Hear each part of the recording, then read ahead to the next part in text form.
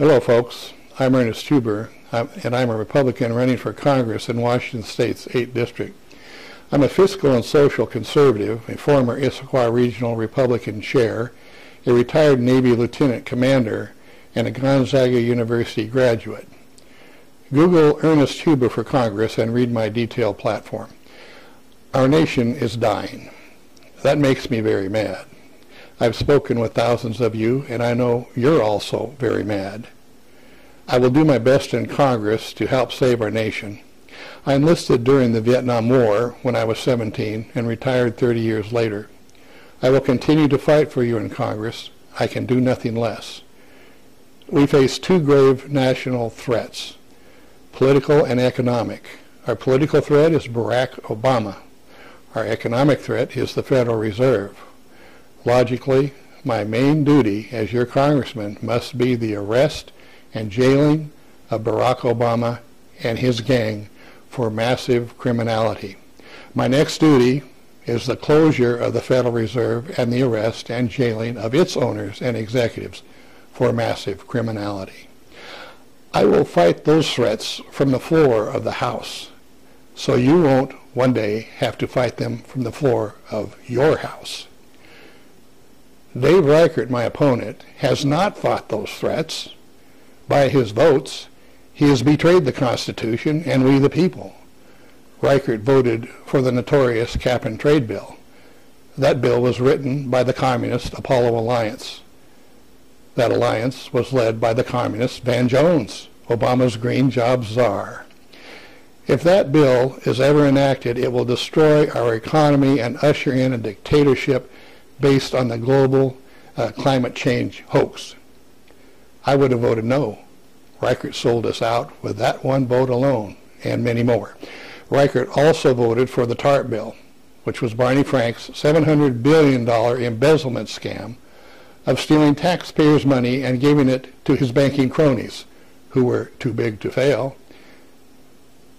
But we are now finding out that the planned cost of that scam is a massive $23 trillion. No one can pay that.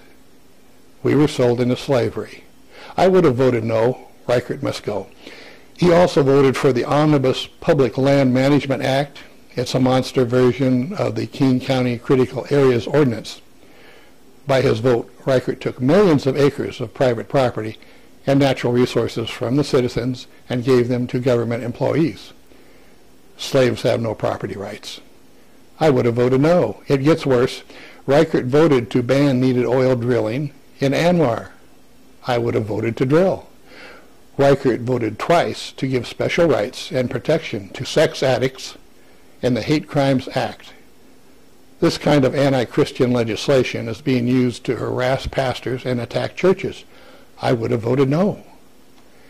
He despicably voted to starve to death Terri Schiavo. I would have voted to, to save Terri's life. That's what we're supposed to do as humans. Reichert's voting has been evaluated as supporting constitutional principles only 35% of the time, contributing to the worst constitutional crisis in our nation's history. In a large ongoing national poll, he has an F an F for his horrible congressional performance. Now, these are just a few examples of Reichert's record. It is what it is. He's a Dede Scozzafava in RINO's clothing. He has sold us out, and he can't be trusted. He has disqualified himself for office. On to Obama. By far, the most serious threat to our national security is Barack Obama. Let's be honest. He and his gang are communist revolutionaries. They're trying to install a communist dictatorship. They are America's enemies. They deceptively used our political process to infiltrate the presidency and are now rapidly dismantling our constitutional government. Overwhelming evidence justifies their immediate arrest and jailing for RICO violations, sedition, treason, and national security offenses. If they are unlawful combatants, they should be handled as terrorists.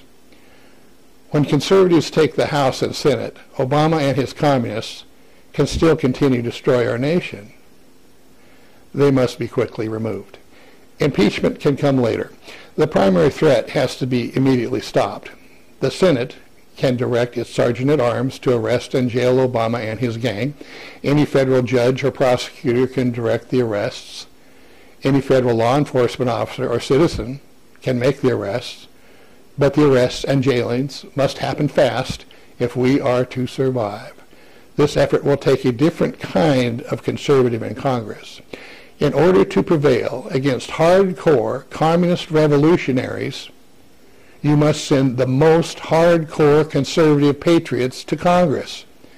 Don't send pacifists or appeasers or common sense Mr. Nice Guys or diplomats or negotiators or consensus builders or glib party hacks or RINO incumbents or peacocks or the kind and the sensitive.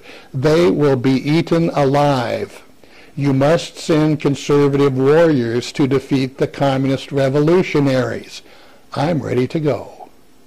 This war will not be won by the passive resistance of Gandhi or Martin Luther King. That technique works against civilized Christian governments, but it doesn't work against the communist octopus, whose head must first be attacked, then its tentacles. You can't be free and be a pacifist.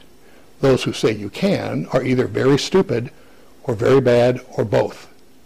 Pacifism got us here, and it won't save us. Our founding fathers handled tyrants very well. Now, the Federal Reserve, there is no national debt. There are no unfunded liabilities. Social Security is not bankrupt. You owe no income tax, and you never have. And here's why. It costs pennies to print a Federal Reserve note. It costs the same to print a Treasury note. Both notes are backed by nothing.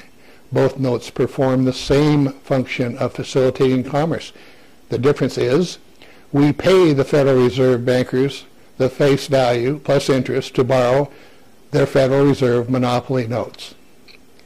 If we print and prudently use our own Treasury notes or monopoly money, we pay nothing and incur no debt.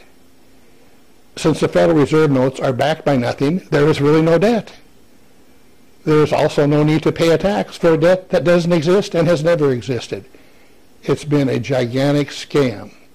Unfunded liabilities can be paid by debt-free and interest-free Treasury notes because Congress is constitutionally empowered to do that as a sovereign. Income tax collection by Congress is also constitutionally optional, not mandatory. The federal government can uh, fund itself without borrowing and without taxing. It will require courageous conservatives to make that happen. I'll work to make that happen.